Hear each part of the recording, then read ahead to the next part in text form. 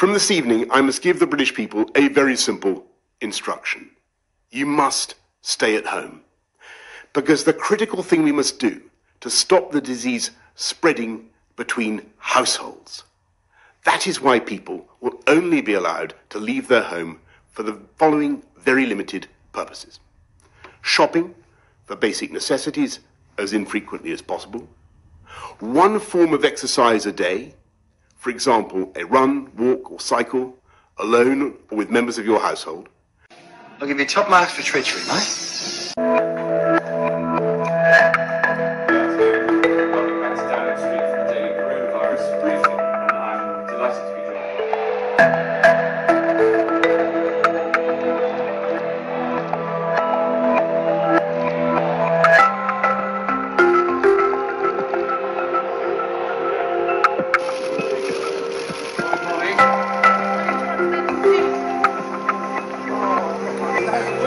This isn't about me, this is about the country. What we need is an economic boost. We need all the talent. Hello there. Evening, sir. Evening, Mr. Hancock. Can you give a reaction to Mr. Cummings' allegations um, before MPs today? I'll give you top marks for treachery, mate. Today, I'm proud to say that under the UK's presidency, the group of the world's seven most advanced economies, the G7, is launching a set of public policy principles for retail central bank digital currencies, CBDCs. Central bank digital currencies could be a digital version of money, a bit like a digital banknote that could be used alongside physical notes and coins. Unlike most of the digital money people use daily today, it would be issued directly by a central bank, like the Bank of England in the UK. I'll give you top marks for treachery, mate. No.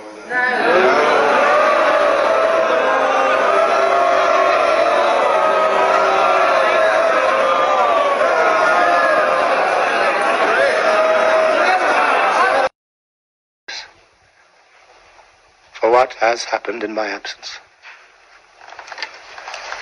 Instead of uniting the good people of this nation with righteousness and peace, which would have been a glorious and Christian thing to have done, what do I find?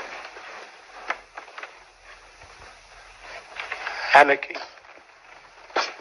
corruption, division, and dissatisfaction. I say that the enemies of this nation have flourished under your protection.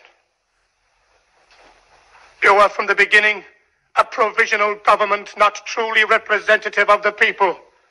Or have the people elected you? Has this house gone once to the people it purports to represent? No, it has not. And now, after six years of misgovernment, what do we find? That Thomas Fairfax moves a bill to give this House a further lease of its worthless and dishonorable life. Gentlemen, an immovable parliament is more obnoxious than an immovable king. They're drunkards, tricksters, villains, whoremasters, godless, self-seeking, ambitious tricksters. You are no more capable of conducting the affairs of this nation than you are of running a brothel. You are You are scum, sir. And a truly elected scum at that. This is no parliament. I shall put an end to your sitting. I hereby declare this parliament dissolved.